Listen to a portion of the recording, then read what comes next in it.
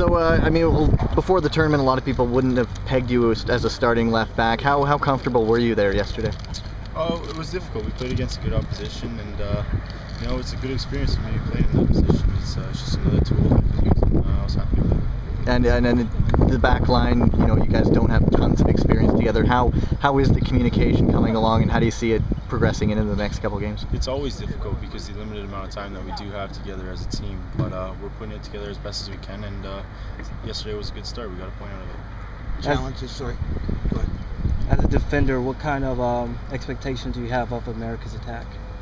Uh, we see the firepower that they do have going forward, um, but uh, we're just going to focus on what we need to do to stop them, and that's, that's strictly between our team. You guys looking forward to this one against the U.S.? Of course, it's always great to play against the states, and we know the fans are going to be fantastic, so it's going to be an exciting atmosphere. And it, but again, a, a tough team to play. It's very tough. We uh, we know most of these players because most of them are in the MLS and whatnot, so we play against their squads day in and day out. But uh, you know, Canada versus USA, it's always a good rivalry. Thanks very much.